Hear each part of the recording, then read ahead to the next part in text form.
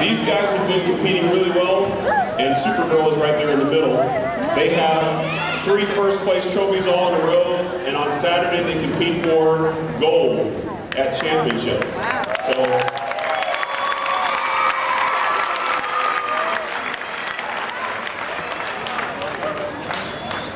Ladies and gentlemen, the Big Blue Marching Crew, the Frontier High School Marching Titan Percussion Ensemble.